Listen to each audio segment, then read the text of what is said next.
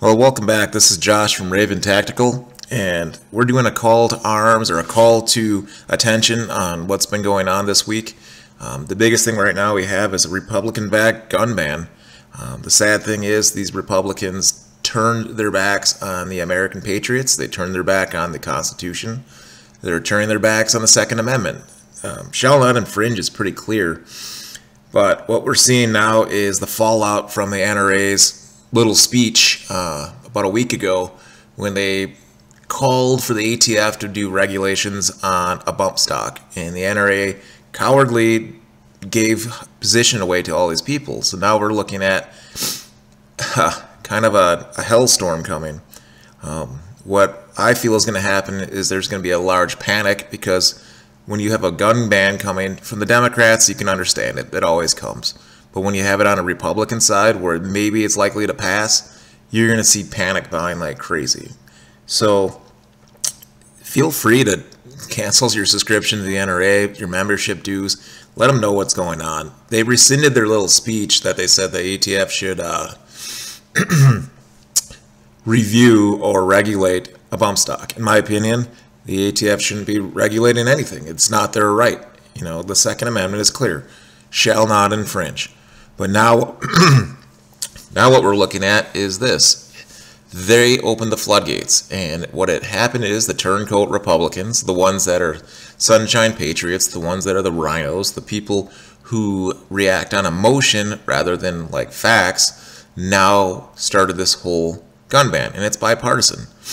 And the gun ban is uh, the number is HR 3999, and what it states is that it's going to ban anything that is a trigger modification that allows you to fire at a faster rate than standard. And the thing is, there is no standard rate of fire.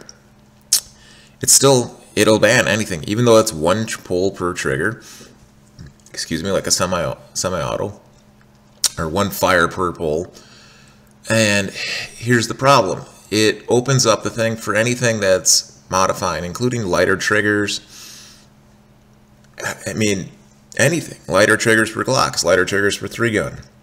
Anybody that's done anything to improve their rifle and do something aftermarket is now going to be considered part of this ban. And it's a slippery slope. There's no, how would I put it? There's no clarification on it. So it's a wide range shotgun effect on pretty much all semi-automatic rifles one person also brought it up too. Um, the Yankee, I'm trying to think of his name. I'll, I'll, put his name in the link, and he brought it up too that a double action revolver could can, could basically fall under this too. I mean, it's really kind of a slippery slope. This right here is going to be the scariest thing that we've seen. And it caught us from nowhere. It, I didn't see this coming from a Republican side. I honestly thought it would have been the typical Democrat. But there's a lot of Republicans that have switched over and they just run as Republican only. They're the rhinos, They're the turncoats. They're the worst kind of people that you see out there. They take your votes and they don't support you. Um, I honestly, I don't understand what's going to happen with it because I think maybe with it being bipartisan and having a Republican backing that there's a good chance that this will pass. And that scares the hell out of me because this right here is the only thing we got left. The, the Second Amendment's been gutted, it's been attacked, and it's been chipped away over the last 150 years, 200 plus years. It's been completely attacked, and it's done over all the emotional things. You know, crime. We'll solve crime by getting rid of this and that, and we'll figure things out. It's never come back.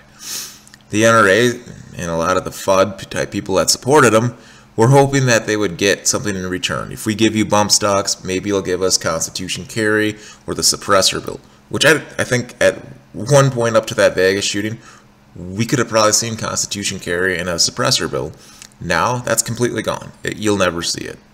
So Constitution Carry out the window. The suppressor bill, which is sad, is going to be out the window. They're not going to even come close. And what you're going to see now is a fight for basically the right to own a semi-automatic rifle. Here's some of the problems too with the bill. The bill has no grandfather clause. It right now states that if you are in possession you have a five-year felony charge. You'll be in prison for five years. It's a felony. You now lose your right to vote. You now lose your right to own a firearm because you own a plastic bump stock or you modified your trigger. Now, here's what the scariest side is. You're going to have people turning each other in because I'm sure they'll probably put something up saying, you know, spy on your neighbor, report him in, make a few bucks, neighbor watch, and this.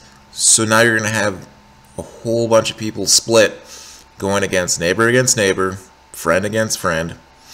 Maybe they're not your friends, but it, it's just sad. I looked at it and went, you know, the old joke was, I guess when guns become outlawed, they will become an outlaw, and it's kind of like an old joke, but who would have thought it would have been over this?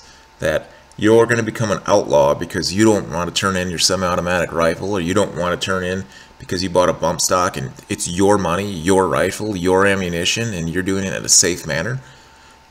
It's something that's just so stupid to me. But we're going to have a, have a call to arms or a call call to attention because you need to call your congressmen, your senators, and you need to actually get political on this. And you can't just sit back and let it go. This is the time to actually get up, get off your ass, forget the NRA. They're not there to support you. I used to back them. I thought they were good people, and they always harassed me and called me for money. And now, if they call again, I'm done. They won't see a dime for me for them forever. I'm gonna go with gun Gun Owners of America, GOA. Um, I don't see a need for the NRA anymore. They just don't seem to be supporting our rights. They don't seem to be backing anything, and anything and during a crisis, they seem to, to fall. Um, be careful of certain type of gun owners, the ones that are actually supporting this. If they see that, well, okay, well, don't modify your trigger, you just got to leave it alone, or don't modify this, because I go hunting. You're going to see a whole list of gun owners that are just going to cowardly take this NRA stance. You're going to see gun channels take the NRA stance, and it's really kind of sad. Um, there's a few um, that I think that are taking a great stance on it. Um, one is Reed Hendricks from or Valley Forge or Valley Ridge, excuse me. I'll post a better little link in there. And you have the Yankee Marshal. I think he's also great. Um, I think Military Arms also put out a really good video on it too, and that explained it a lot, explained it to me at least, and I just want to give those guys a shout out too. Um, I think Mike at Mike's uh, Mike Surplus or Mike Military Surplus, something like that. I'll also post a link for that. Um, anyways, I think right now my my plan for you guys or my plan for myself is this the AR market or the after, you know the aftermarket for ARs, AKs, all this tactical stuff, you're gonna want to buy smartly but not panic, meaning don't overpay, but you're gonna want to buy drums, uh, full-size magazines. You're gonna want to buy parts kits for all your rifles, for all your AKs. A lot of this stuff is gonna dry up. It's gonna be similar to the Sandy Hook, but only worse because people panic buy during Sandy Hook, but the sad thing is now with this becoming the possibility of everyone becoming a felon, with the possibility of this actually getting pushed through, it, it's the manufacturers might stop producing, and then they also might you might see a panic buy from the other side, quickly trying to consume all this up too. So you're gonna need your rifle, you're gonna need ammunition, you're gonna need a way to shoot out of it. So Get make sure you have magazines. Um, buy a bump stock if you can, but just don't overpay. I don't really like price gouging. I understand it's a free market, so go for it. But at the same time, my money is my way to combat the free market. So if you're overcharging, I'm not going to buy from you. Um, just in that note, make sure that you have enough so that if your rifle or pistol goes down, that you have spare parts and spare magazines and plenty of ammunition. Um, I could see this being a turning point because the world we're living in right now is on like a very, very tight fringe where all it takes is a little bit of a powder keg and that powder keg and that spark explodes and then everything goes to hell. So on that note, this is Josh from Raven Tactical and just call.